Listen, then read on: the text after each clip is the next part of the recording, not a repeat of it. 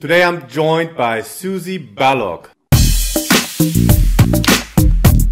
Suzy is a double Olympian, Olympic champion 2004, Commonwealth champion 2006, and the first Australian lady shooter to win a gold medal at the Olympic Games. Welcome, Suzy. Thanks, Christian. Suzy, how did you get into shooting? Um, uh, it was a family thing. My dad clay target shot, but it goes back further than that. My grandfather in Hungary, he clay target shot and hunted, and when they arrived in Australia, they took up the sport. As a kid, I got dragged around and you know got to see all the clay target ranges in Australia with dad and mum, and eventually I had to go, and I loved it. Cool.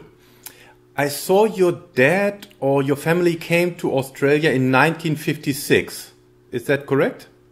Yeah, so they were um, refugees during the Hungarian Revo- Revolution, um, fled into Austria, and then landed in Darwin in Australia to the warm weather, and then ended up down in Victoria in a refugee camp called Bonegilla, which is um, very, very cold place. Okay. No, I know there are a few um, few Hungarians that were on the Olympic team and went to the Melbourne Olympics and didn't go back. So I was wondering whether they were part of that. no. okay. In your life as an athlete, what was your darkest moment? I had two, I suppose. Um, one was my campaign for the 2004 Olympics. The I'd qualified for the Olympic team. A month later, we had a World Cup test event here in Sydney. And about five minutes before that test event, um, I actually injured my back. I had niggling back pain, had a massage treatment and physio the night before, again that morning. And then I was on the warm up layout and I basically had my ammo in my pockets, gun over my shoulders, and I just went to stretch out. And what happened was I severely did two discs in my back and sprawled on the ground and had a trip to hospital. So, having worked so very, very hard to get into the Olympic team, and then it's snatched away from you, um, that was pretty tough. But I managed to um, basically learn how to walk again, how to shoot again, and did absolutely everything I could to get to Athens six months later. And I think because I'd hit rock bottom and was on the upward trend, um, my shooting was just improving and improving. And the other good thing is I had no expectations on myself. It was just purely process and performance and follow that on the day and came away with a gold medal. And then the other one that was also a dark, dark moment for me was uh, getting ready for the 2008 Beijing Olympics. I wanted to go and defend a gold medal. I'd I was ranked number three in the world, number one in Australia at the time. And what had happened was um, the selection process had changed partway through the year, and my world rankings didn't count anymore. And my overseas performances, and it was purely a domestic selection event. And there were four events. I won all four, but they actually just took our score before final. And the last two events, I had glandular fever. So I missed out on going to the Beijing Olympics by two targets. And I was distraught. I'd changed my world around for this. I'd put four years hard work in. I'd um, retired from my position with the government agriculture board and um, I was distressed, distraught. My hair fell out. Oh, I was I was a mess, a total mess, and that's probably been the lowest mental place I've ever been.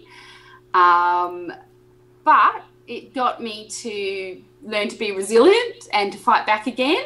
And I moved to Sydney, closer to a range, and managed to go to the London Olympics. Cool. What was your best moment? Ah, um, winning gold, of course. I mean, the lead up to it had been tough. Um, I was really fortunate to be a, a filler for the Sydney Olympics. I'd only been shooting the Olympic disciplines a couple of years, and I got asked to come along and make up numbers. However, I wasn't an Olympian. I wasn't part of the team. I wasn't even a volunteer. And on the scoreboard, it actually said no name, no country. And so for me to see this brilliant score that could have got me in the finals with no name, no country next to it was the start of me going, I really want to be an Olympian. I want a name. I want a country. So I put in the hard work for four years. I lived four hours from a training venue. So every weekend I would jump in the car and go to the training venue. And I used every penny I had, every bit of holiday time, everything to get there. And oh, I'd had the back injury, and I also found out the day that I had made the Olympic team that my mother was um, going through breast cancer. So, I mean, that's a high and a low for you in one day. That was pretty massive. Had the back injury and then fought my way back. So, proudest, the best moment for me was having got into the final and realized that the final was over. The first emotion you kind of get is relief, then a little bit of excitement. But then the best moment is when I looked at that scoreboard and I had a name, I had a country, and I also had Olympic champion under it. And that is satisfaction. So all the hard work pays out. Yeah, and it comes full circle, right? Before that, four years earlier, you don't you see no name, no country, and then you see your name and your country. Really yeah. cool. Um, you said earlier you had no expectations going into the Olympics, but then in the process you must have seen, okay, it's going well. Did you at some point say, okay, now my goal is to get a medal? Um, I always believed I could get a medal. I'm I'm someone who puts in the hard work and I don't go to an event just to be a competitor. I go to an event to be a contender. And I knew that, you know, I was capable of a gold medal. But you just you stick to your process. Like I've learnt now that yes, you can dream, you can say I want to be Olympic champion, but that's that's an outcome goal. That's not always in your hands. And an example of that would be um, the London Olympics. I shot a personal best at the London Olympics, a new national record. I broke the old Olympic record in qualifying as well. And then Jessica Rossi from Italy just had the day of all days and you know only missed one target in the final. That was it for the day. So i had hit every goal every process i had gone through but yet you know the outcome still wasn't a medal for me. So i think sometimes um, outcome goals are really dangerous because they're often in someone else's hands as well whereas process and performance goals they're, they're yours. You can deal with them. Yeah, I believe that. Unfortunately, very often we get measured by outcome goals, huh? Absolutely. But also, athletes, you know, they want to perform their best too. And yep, that happened. yeah. One thing that piqued my interest, you said that moment when you looked at the scoreboard and it says no name, no country. You said, okay, I made a decision. What did you change from that point onward? Okay, I'd only um, been thinking of myself as a part time shooter. I'd only been on the Olympic circuit for two years. I was still working a full time job and it was more of a hobby for me. And I kind of fit shooting in around my job. And I'd still be, you know, going to weddings and birthday parties and enjoying myself. And it was there and then that I actually went, okay, I need to become a professional athlete and put the effort in. Unfortunately, uh, shooting in my days was not a very heavily funded sport. So I still worked full time jobs to fund the sport. Um, but it just changed from me thinking this is just something that I do that I'm good at to I want to be the best. Yeah, professionalism. If you could travel back in time 10, 15, 20 years, what advice would you give a younger Suzy? Uh, to dream big and make sure I have a picture of it. I've I've learned so much about visualization, and if you can see it, you can do it. I also think that sometimes because we don't know what's out there, we don't ask enough, we don't dream enough, we don't plan for it. So I think I'd be telling myself, find out of other people what they would have wanted to do 20 years before, what advice they had. Mm. And then also have a look at the people that are at the top of their game and say, where would you like to be? And maybe dream and go for that. So that would be the advice to myself. Dream big and and make it realistic. Yeah. I really like the advice of going to people who have already been there so that this kind of standing on the shoulders of giants. Really cool. What are the habits that make you a successful athlete and or person? Um okay, so I suppose I'm not really someone who analyzes themselves very much. I'm I'm someone who'll shoot a target, think of it for two, three seconds, and then move on. And that's kind of a handy skill to have because you're not dwelling on the past. You're trying to always move forward and progress. So that's a habit I've formed. The other habit that I think is a skill as well is compartmentalization. I was really good and am really good at focusing at the task at hand. So if my cat had died that morning when I was on the tracks competing, I was on the tracks competing. So being in the present. Um, I think also I'm not afraid of hard work and I will put it in, put the hard work in. And one of the habits, unfortunately, is that I've been to the top of the sport, the middle of my sport, and also the very bottom. I've been in teams and then been deselected from teams to give younger athletes a go. And you just have to learn resilience and that fight to come back. And I have almost made it a habit to be as resilient as I can, to fight as hard as I can, and have grit. Um, yeah. So I suppose it's a habit, way of life. Move on, get over it. How do you do that with the resiliency and grit? Yeah, I, I think um, some people don't take challenges head on and they don't take opportunities because they're afraid of failure or they are worried that, you know, it might not work out the way they want. Whereas I'm someone who just gives it a go and if it doesn't work out, then I've learnt from it. Hmm. Also, life throws things at you and sport throws things at you. And you could just retire or you know find another sport or move on. But to actually dig deep and you know have to face everyone again and get in there and fight then you know that's how you do it. Just keep turning up and coming back for it. Yeah and you mentioned it earlier in this interview, and I've also seen it when, heard it when I made my research. You traveled four hours to your training location? Yeah, Australia's a big place. Um, For sure. Not many Olympic trap layouts throughout the country. Um, so I was stationed in a town four hours west of Sydney, and my work was state based, so I travelled a lot.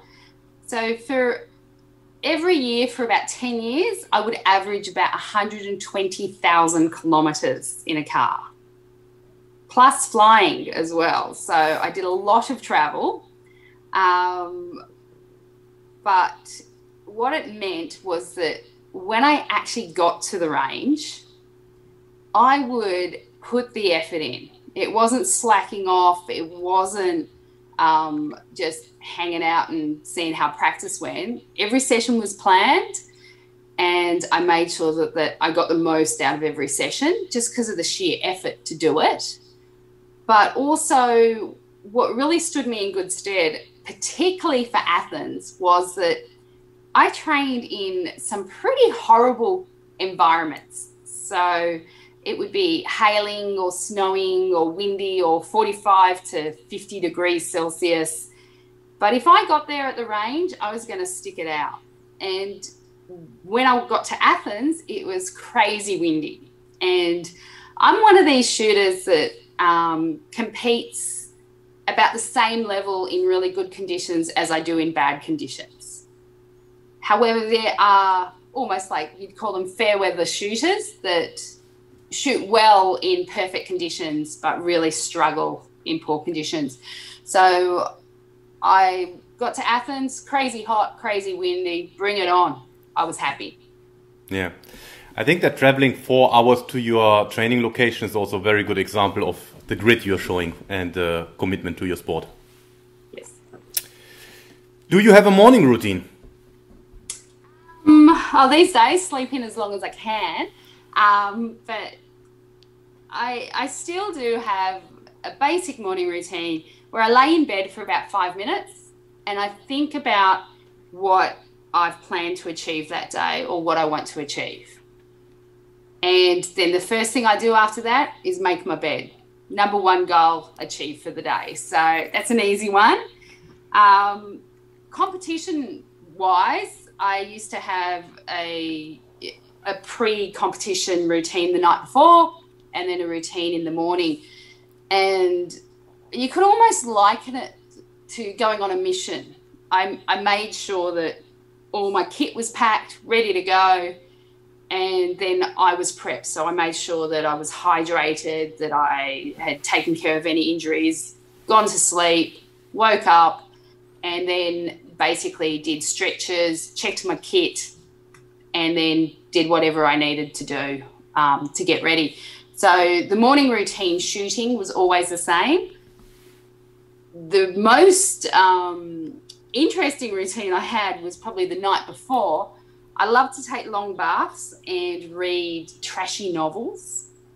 Um, and iron my clothes. I'm not really a big ironer, but it's just that odd moment with an ironing board where there's just me doing the most mundane task and it's just running through things in my head and just bringing me back to, to ground. So I suppose my routine at night would be to center me.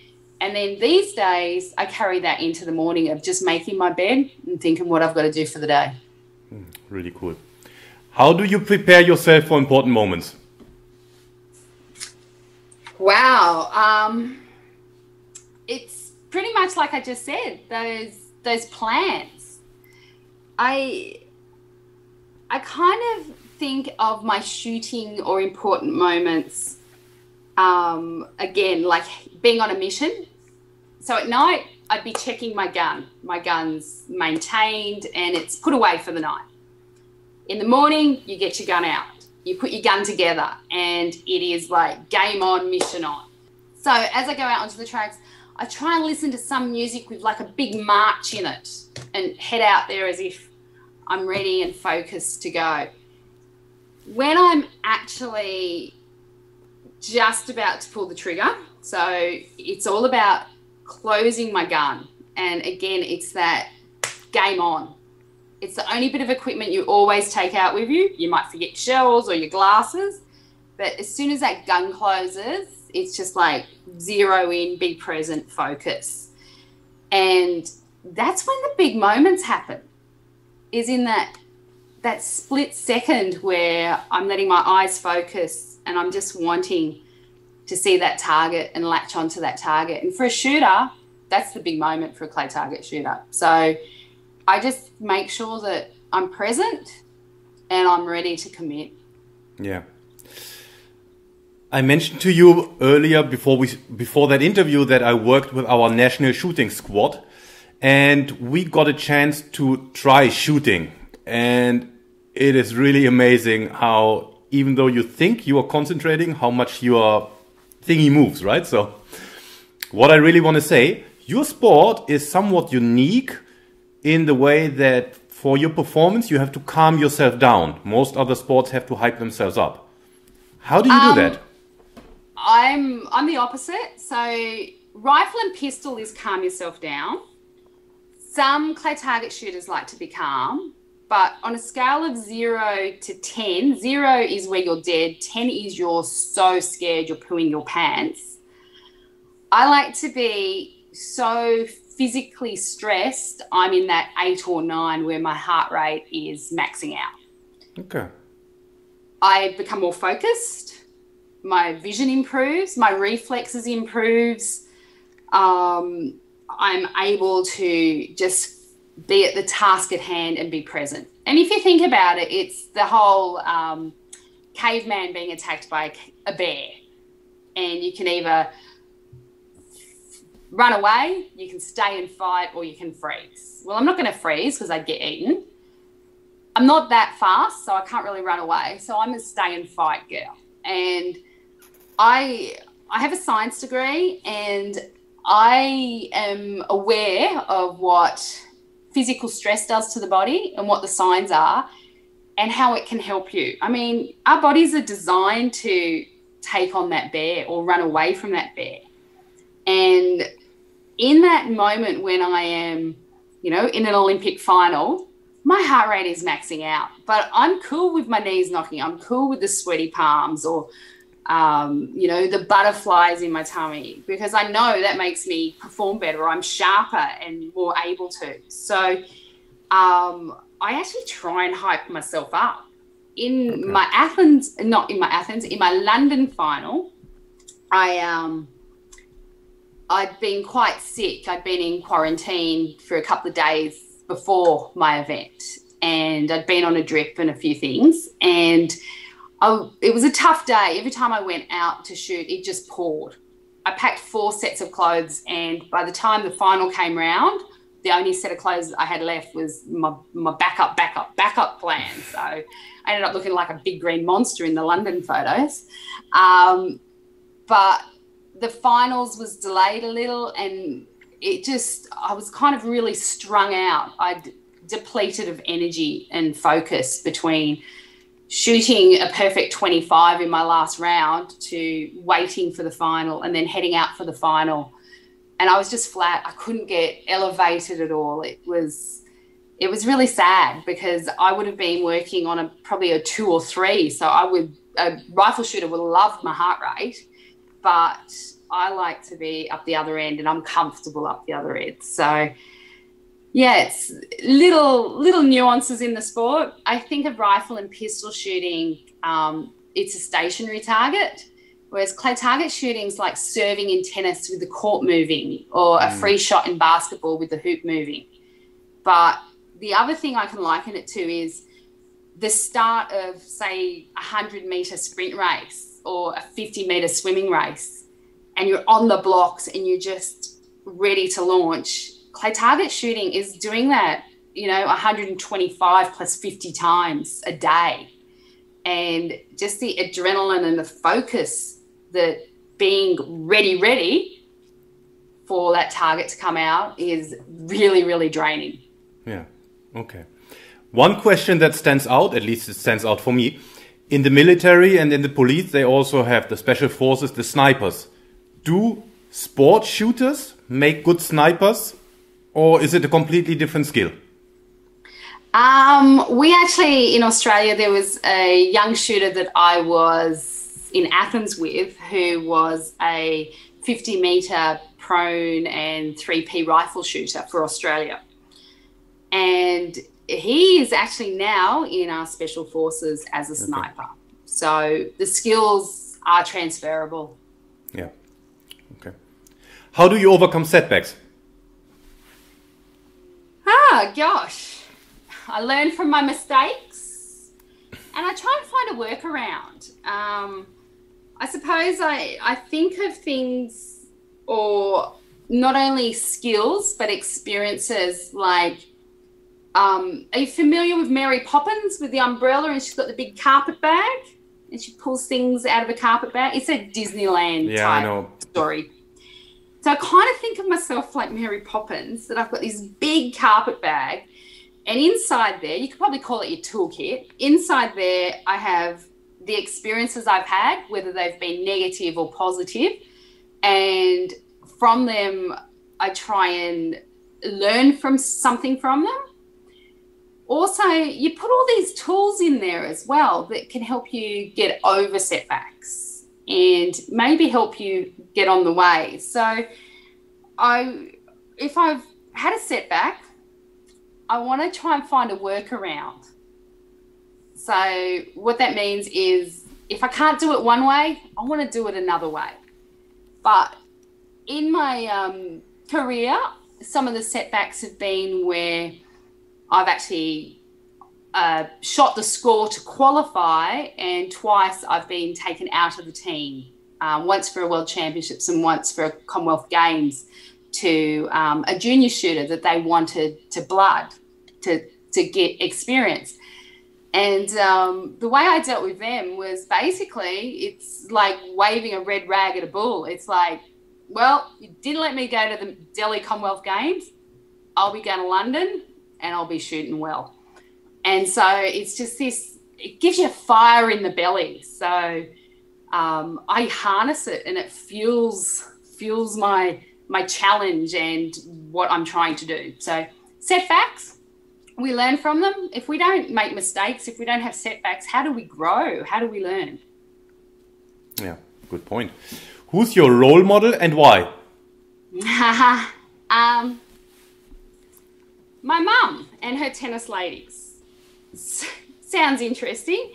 So, my mum, she's 80 this year, and she has been playing tennis with the same group of ladies every Thursday morning for 56 years. And these ladies, um, my mum used to play very high level tennis and badminton, and they just all love to turn up. They're hugely competitive. They're um, really want to perform their best. They don't like to lose, but they all just are happy to turn up on a day it's raining and have a cup of tea together.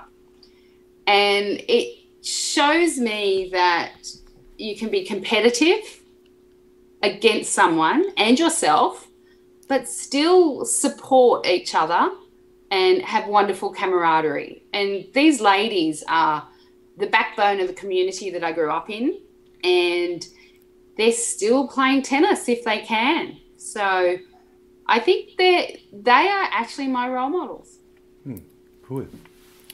What is the best advice you received and who gave it to you? Uh, the best advice was from my father. Um, Dad, being a refugee, was not an educated man at all. He doesn't read and write. And he had this saying to us it's mind over matter. Mind over matter. And he said that you can do whatever you want to do if you put your mind to it. And I think he he really liked Bruce Lee, mm-hmm. the karate dude. And we had this book which as kids, I, I still remember it. It had like um, karate exercises and moves in it. And I, I can't do a, you know, a crazy knuckle handstandy thing that he can. But you know, we'd want to do those things as kids and we'd try them. And I did judo for a while, but um, he said it was mind over matter. If you want to do it, you'll work out a way to do it. And it's pretty much the best advice I've had. He used to hold us by the ankles so we could do those those knuckle those knuckle push-ups and it it kind of showed me that with help and support from people, you can you can get by. So I I really learned that the mind is really powerful, and if I want to hit a target, I can hit a target. Mm, really cool. Back in the days, how did a typical training day look like? Okay, so I, I would have had two um, key times in my life that I can look back at training. One was when I traveled the four hours. So um, I'd work all week, jump in the car Friday afternoon, drive to Sydney, and I'd probably do some night shooting or some late afternoon shooting. So I'd be getting bulk training in, just trying to get some targets under my belt because I haven't been able to train for five days. And then that night, I'd stay on a friend's floor or lounge or spare room. I had lots of friends in Sydney, and I'd, you know, stay at a different house every weekend I was training. So thank you, people. And then Saturday, I would do a little bit more bulk training, just getting the numbers through. And then I do some technical training, working on skills. And then I'd probably go off, stay at a friend's, have a few beers that night, and um, relax, and then try and catch competition somewhere in Sydney. If I wasn't in Sydney, I'd be doing very similar in Canberra, which also was four hours away. I'd stay down there with my parents. And then the other option for training would be to travel for a competition. So it's two day competition. I'd arrive on the Friday night. I might have traveled um, for eight hours for a competition one way then and compete all day Saturday, all day Sunday, come back late Sunday night and start work. Now, if I was heading to, say, a World Championships or a World Cup, what I would do would be take probably five days just immediately before I flew out. And the first two days, I would just bulk train. So I would get hundreds and hundreds of targets under my belt so that I, my body had gone back into being used to the recoil and the gun fit. So it became automatic. The next day, I would do technical training, um, those skills that I needed to work on that maybe I'd noticed I'd had a flaw in or um, I'd missed targets in during competition. And then the last two days before I flew out would be tapering. So having a mini competition and um, just not shooting as much as I needed to. The other thing was that if I was going to a country, say uh, Peru, and I knew it was going to be 40 degrees and dry as over there, I would also try and find a place in Australia to train under those conditions if I could before I flew out. So I might fly out from Melbourne or Darwin or Perth, lots of options, and head off that way. The other thing was that if I didn't have a choice and I knew I was going to a dry place and I was going to be training in rain or snow in Australia or really cold weather, then I might forego the last couple of days training just because I didn't want to put errors into my tapering. Hmm. So I might just go, okay, I'll have a break and make sure that I do my tapering over there. So that was when I lived a long way away after um, 2008, moved to Sydney, started up a business, and just started getting lots of things back in my life because for my campaign from 2006 to 2008, it was all about shooting, just shooting, shooting, shooting. And I wasn't working, I was just totally focused on getting ready for, for Beijing. And so I moved to Sydney. I live 20, 15 minutes from a range. Actually, when I first moved, I was five minutes from the Sydney International Shooting Centre, which is where the Sydney Olympics were. And I would train five days a week. So I would pretty much um, do the proper skill training and work really hard and on technical perfection. I'd also make sure that I did pressure training as well. So I'd put myself under situations where if I dropped a target, I was going home. Or if I dropped a target, do 20 push ups, that type of thing, trying to emulate a little bit of stress. And I'd, I'd also have um, people that I'd trained with, and it'd be like, you know, one one shotgun cartridge. It'd be like the bet for the round or so on. And, and so you were always trying to um, add a little bit of inspiration. I also had chance to randomize the targets and make them variable and train in, um, you know, fast targets, slow targets, targets that weren't correctly presented. Um, so that again um, increased my skill set and my, my, mental trace and memory of that skill improved. Um, and I was also close to sports psychologists and gyms and recovery sessions and and lots of competition. So um, yeah, I didn't have to travel as far, so I put more effort in. but I was also running a business as well. So I didn't get to travel to as many small competitions as I liked, but I spent a lot of time jumping on a plane and, and going somewhere else. Um, so yeah, when I didn't have a chance, it was like bulk training, technical, and then tapering. When I had a chance, it was sustained learning over a long period of time. Yeah. And one question that stands out is in that period where you could only train on the weekends, hypothetically, if you would have had the chance to train throughout the week, you think you could have been even better? Um, no, no. Um, I think, well, actually, technically, towards the end of my career, I was a better shooter. Um, because I'd learnt more, I'd been more interested in coaching and much more reflective. However, you can overtrain. You can just be bored with the task. And when I only trained on weekends, I put my all into that. And and so the quality of the training was really high. Whereas when I could train five days a week, sometimes I just I don't know, have too long a lunch or something. Hmm. You have transitioned out of sport how was the transition and what's going on in your life at this moment in time?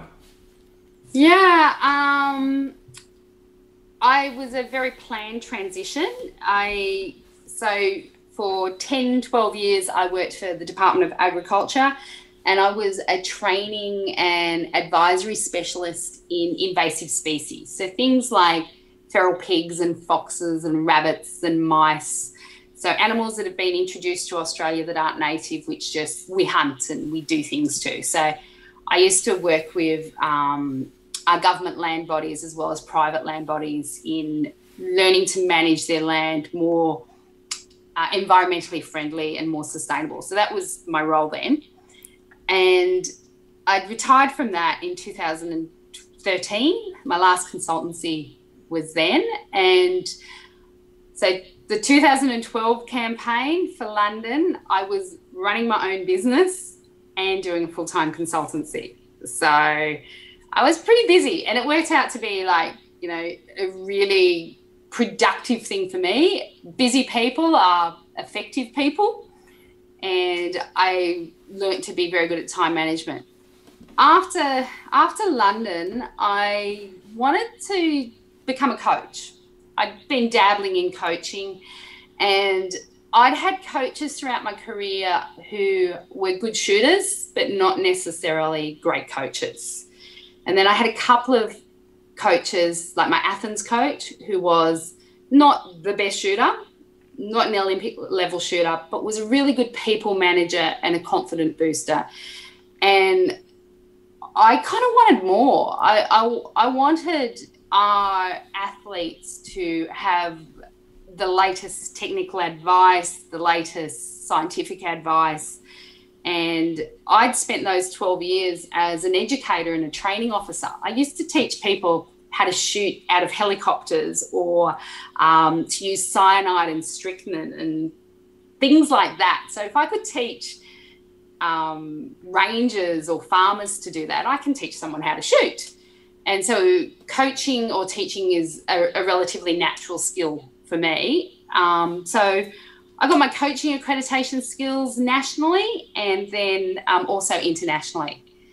Um, and it was a plan that when I retired, I would go into coaching full time. And I coached through my business hitting targets as well. So I've been lucky enough to take teams to World Cups and actually come away with team members with gold medals and and such. So you know, some some coaches can only dream of you know their athletes winning World Cups and university games and stuff. So I've I've had a good run with that. Um, for the last six years, I have been the national coaching director, head coach for the Australian Clay Target Association. So not our Olympic coach, but the coach who looks after the main membership body. So I did that for six years and uh, finished up in January. And now I'm just trying to do my team building business better. I also work with the Australian Institute of Sport. Um, along with 38 other Olympic gold medalists from all disciplines and Special Forces commandos in preparing the next crop of Olympians from all disciplines to go to Tokyo. So that's an amazing program we have. And I'm learning heaps from that. And then I also work for the Australian Olympic Committee doing presentations to um, 14 year old, on average, children that are thinking about their futures and just telling them, you know, be, be brave, find what you love, and go for it. Um, so I keep myself pretty busy. I do motivational talks, a lot of coaching, and I also introduce my sport to corporations and others. So I, lo- I love what I do. Really cool. Coming to the end of the interview, do you want to nominate someone to be interviewed? Okay, couple questions. Have you interviewed a beach volleyballer yet? Yes. Have you interviewed an Australian cyclist yet? No. Hmm, road race? No. Okay. Well, I'm going to dob in Sara. Oh, sorry, sorry. there. Yeah, I have I have road racer, but not Australian. Ah, okay. Well, there's Sara Carrigan, um, who I think I might dob in. Really cool. Australian uh, Olympic gold medalist from Athens. Really cool. Thank you. Where can people find you? Um, hittingtargets.com.au. Sure, social media. Social media, same thing, hitting targets. Google Suzy shooting, hitting targets, you'll find me. Really cool. Suzy, thanks a lot for your time. That was awesome. Thanks, Christian. Nice interview, and um, thank you.